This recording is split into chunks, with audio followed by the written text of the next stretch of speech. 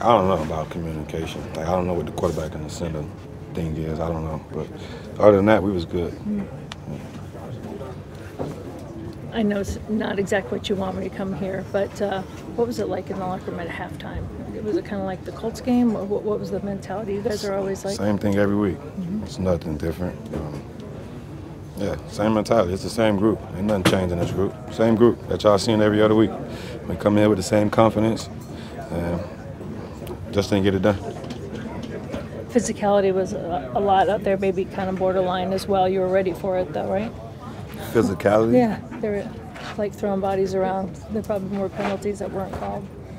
I don't know. I don't get into that. I'm physical myself, so I don't know.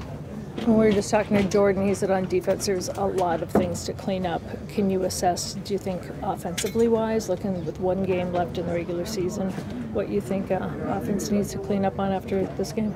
Yeah, we still got a lot of stuff we're still working on. Um, not perfect, so uh, go back and watch the film, clean up some technique things, and like I said, one one loss don't define us. Like you know, this type of group we got.